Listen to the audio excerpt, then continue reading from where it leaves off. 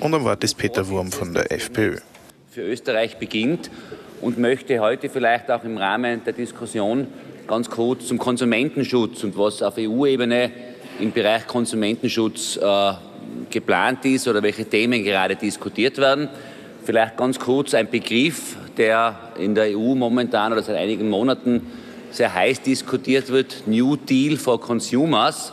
Und unter diesem Begriff New Deal for Consumers gibt es einige sehr, sehr interessante Punkte, die ich vielleicht heute ganz kurz hier einmal erwähnen möchte. Äh, es geht darum, dass man auf EU-Ebene äh, im Bereich der Lebensmittel Verbesserungen für Staaten schaffen will, die zum Beispiel gentechnisch veränderte Lebensmittel nicht in ihren Märkten haben wollen.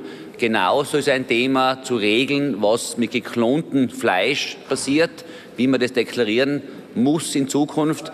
Äh, Im Prinzip kommt das, kommt das Thema geklonte Lebensmittel oder geklontes Fleisch von Tieren immer mehr auch in Europa als Thema. Und auch hier muss im Sinne des Konsumentenschutzes eine europaweite Regelung gefunden werden.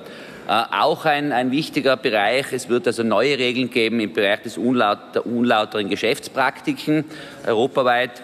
Äh, ein Thema, was also im Online-Bereich äh, ganz, ganz wichtig ist und noch wichtiger werden wird, äh, sind die Online-Marktplätze. Hier wird es ganz strenge Transparenzregeln geben in diesem Bereich.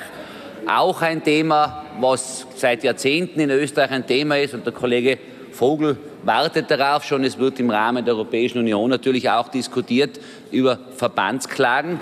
Äh, in diesem Bereich bin ich gespannt, wie die Frau Ministerin hier auch äh, im Sinne der Konsumenten uns dementsprechend weiterbringen wird. Ein Thema, das also gerade für Konsumenten äh, im Hinblick, ich äh, verweise nur auf den VW-Abgasskandal, hier in Österreich auch für Konsumenten Verbesserungen bringen würde.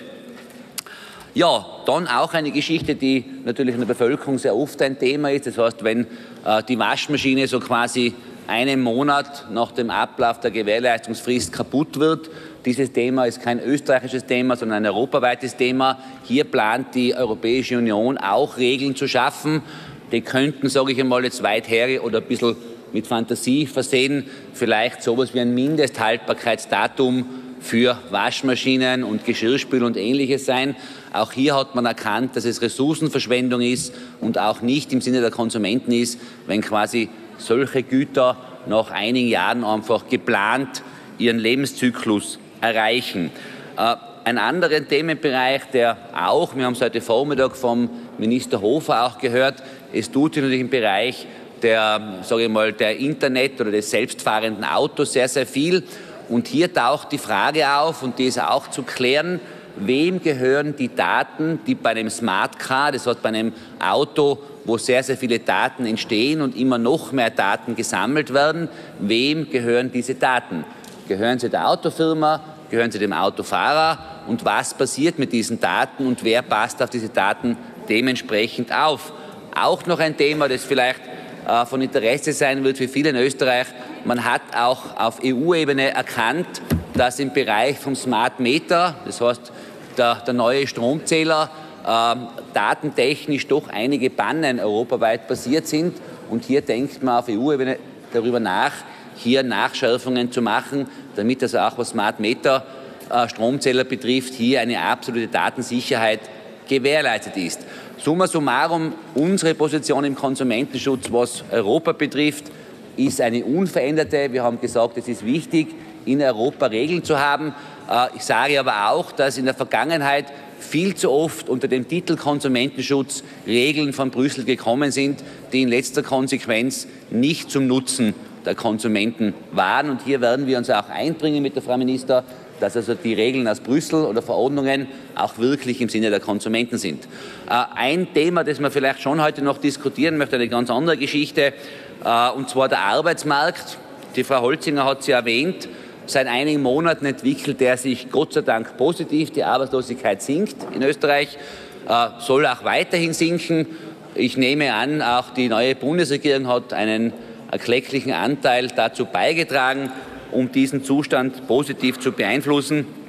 Äh, möchte aber doch schon sagen, ich habe das letztes Mal schon erwähnt, ich bekomme leider Gottes immer öfter Reklamationen von Kunden des AMS, dass also die Behandlung der AMS-Mitarbeiter oder die Aussagen vor Ort eigentlich nicht mehr akzeptabel sind. Ich habe einen Fall mit, ich werde der Frau Ministerin dann auch übergeben, wo eine 53-jährige Frau mir bestätigt, dass sie im April zweimal, und zwar am 4. April und am 16. April, von zwei AMS-Mitarbeitern, und zwar vom Berater und vom Vorgesetzten, folgende Aussagen bekommen hat. Was sie wollte eine Schulung haben, eine Umschulungsmaßnahme und die Aussage war wortident bestätigt, es gibt kein Budget, wir bezahlen das nicht, man möge sich bitte bei der neuen blau-schwarzen Regierung bedanken. Äh, Auskunft, seit die neue Regierung im Amt ist, sind die Töpfe leer. Das wird beim AMS den Leuten, die eine Umschulung wollen, eine Weiterbildung wollen, mitgeteilt. Und das ist für mich ein Skandal, ein Skandal ersten Ranges. Und ich sage das, sage das ganz deutlich und ich hoffe, und bin überzeugt davon, die Frau Minister wird dem Einhalt gebieten. Was man dazu sagen sollte, ist ja Folgendes, und die Frau Minister kann es vielleicht erklären, dass im April 2018 noch nicht einmal eine budgetäre Änderung stattgefunden hat, weil die genaue Budgetaufteilung für 2018 erst jetzt ab Sommer erfolgen wird. Das heißt, diese Aussagen sind reine Propaganda von AMS-Mitarbeitern, um die Bundesregierung und in dem Sinne auch die Frau Minister schlecht zu machen und die Leute draußen zu verunsichern. Und da bitte ich mir eindeutig einen Schritt. Und das AMS muss das unterlassen und hat für Österreicher vor allem die, die Maßnahmen zu setzen, damit die Leute auch in einen Job hineinbekommen. Äh,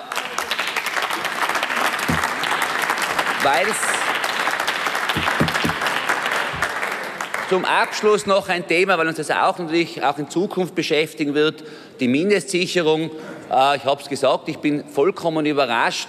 Seit vielen Jahren thematisieren wir ja auch die Mindestsicherung und erstmalig hat im, im, im, im Gebiet Wien, also im Hochgebiet Wien, wo das immer explodiert ist die letzten Jahre, hat die Anzahl der Mindestsicherungsbezieher im ersten Halbjahr 2018 einen Rückgang äh, gezeigt.